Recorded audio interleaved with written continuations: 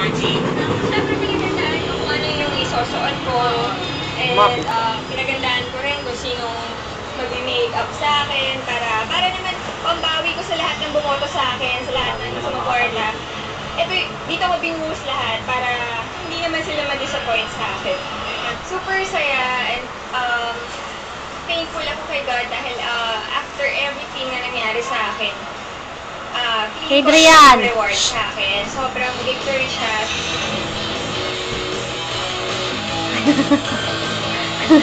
Up now. Hindi talagang putik lang yung aking cover. So, mag-expect ka. Wala, habol ka ni Doraemon, oh. Sexy.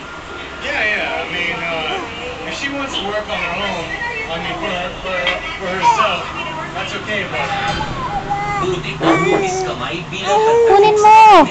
Ito ang itsura ng buong kahugdan ni Aubrey Miles sa cover ng July 2009 issue ng FHM.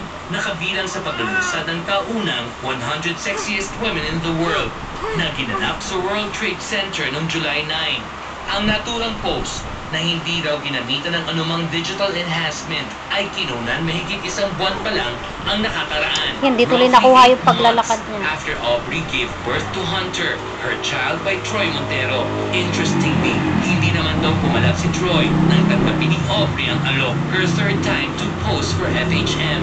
Oo, proud nga. Sige, gumugla naman siya. Sabi ko kay, kay Troy na, oh, super daring ha.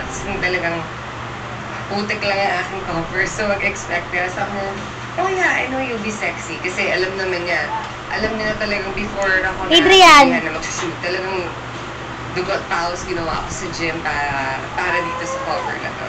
So, parang I'm showing like the moms, yung parents na we get better about their other chances. Right?